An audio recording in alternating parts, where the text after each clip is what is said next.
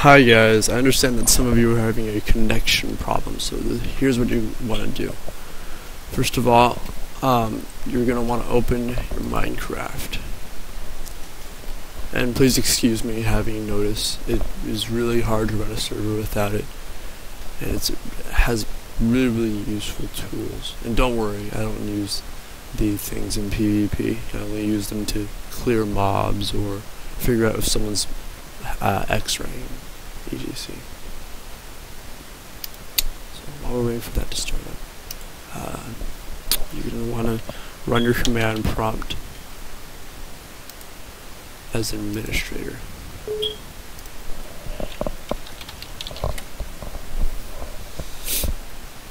And you're going to want to type IP config. And you're going to see all of these extra stuff. So what you're going to want to type is um, IP config space flush DNS.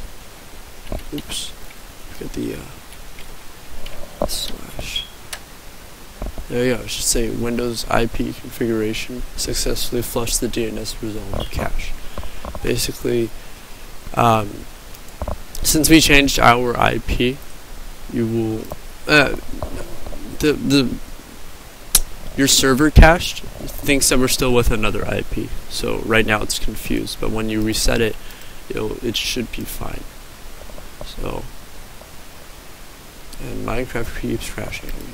So, uh, disregarding Minecraft right now, it should be working. Okay. And uh, hope to see you online.